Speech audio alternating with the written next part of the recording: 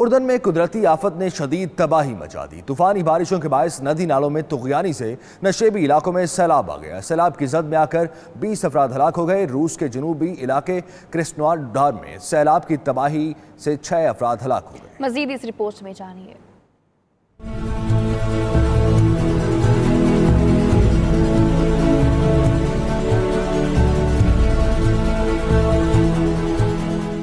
اردن کے مغرب میں بحیرہ مردار کے ایک قریب علاقے میں سیلابی رلا طالب علموں سے بھری بس اور کئی مقامی لوگوں کو نگل گیا۔